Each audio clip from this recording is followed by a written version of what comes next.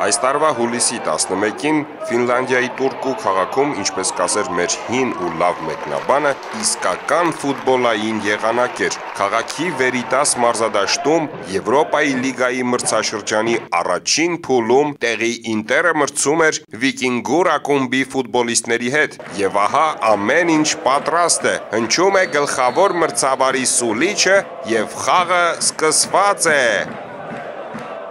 Փոքրին շեղվելով ֆուտբոլային ռեպորտաժի ընդունված կանոններից նախ ներկայացնենք մրցավարներին։ Բոլորն էլ Հայաստանից են։ UEFA-ն մեր մրցավարներին է վստահել այդ դժվարին գործը։ Գլխավոր մրցավարն է Անդրանիկ Արսենյանը, նրա երկրորդ օգնականն է Հովանես Ավակյանը։ Մյուսներին ներկայացնելու կարիքն այսօր չի զգացվում։ Հենց Արսենյանն ու Ավակյանն էին տեղյակ, որ հերավոր հայրենիքում էլի մի քանի հոգի Էդգար Սաֆարյանը, Ոմն Գրիշա եւ նույնքան Ոմն Գոր անհամբեր սպասում են հայերիս համար ավելի քան աննշան այս խաղի արդյունքին։ Մարզադաշտ եկած երկրպագուները, ֆուտբոլիստներն ու նրանց մարզիչները, հերոստատիտողները բոլորն անտեղյակ էին, որ այս խաղում երկու թիմերն էլ պետք է պարզապես պարտավոր են գոլ խփել։ Եվ դրա համար էլ ֆուտբոլային ազնիվ մրցակցությունը տևեց միայն 70 րոպե մինչ այն պահը, երբ հայ մրցավարը նշանակեց ավելի քան կասկածելի 11 մետրանոց տուգանային հարված։ Այժմ բացենք փակագծերը։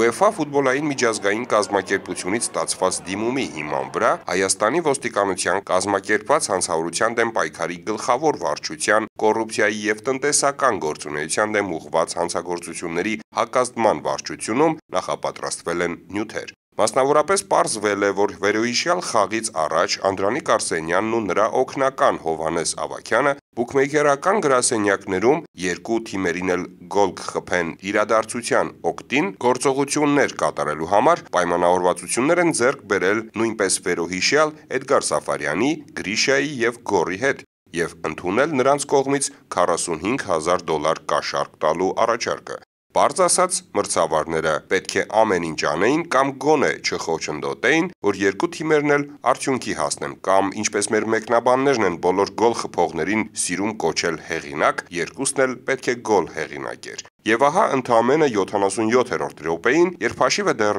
0-0 էր, երկու թիմերի հարցակվողների անկարողությունից համբերությունը հատած Արսենյանը որոշում է դառնալ գոլի համահեղինակ։ Ու մի ավելի քան կասկածելի 11 մետրանոց է նշանակում դաշտի տերերի դարպասի։ Օգտվելով ընձեռված հնարավորություններից հյուրերը հաշվի մեջ առաջ են անցնում։ Եվս 1.5 րոպե եւ ոչ պակաս կասկածելի 11 մետրանոց է նշանակվում արդեն հյուրերի դարպասին։ Հարցեց ակում։ Էլ ինչ կարող էր անել գլխավոր մրցավարը կամ էլ նրա երկրորդ օգնականը, բայց Տուգանային նիրացնողը ի հեճուկս հայ մրցավարների գոլի հեղինակ չի դառնում, այսինքն նորմալ հայրենով ասած գոլ չի խփում։ Ամենասարսափելին այն է, որ խաղն այդպես էլ ավարտվում է 0-1 հաշվով, այսինքն երկու հոգի հենց Տուրկուի Վերիտաս մարզադաշտում, առնվազն 3 հոգի էլ Հայաստանում հասնում են կատվածի դուրը։ UEFA-ի փորձագետները բնականաբար հեշտությամբ բացահայտում են 11 մետրանոցների անհիմն ու անհարկի լինելը։ Բնական է նաև, որ ընկնում է հայկական ֆուտբոլի, հայկական մրցավարության, հայկական ազնվության ու արդարամտության մասին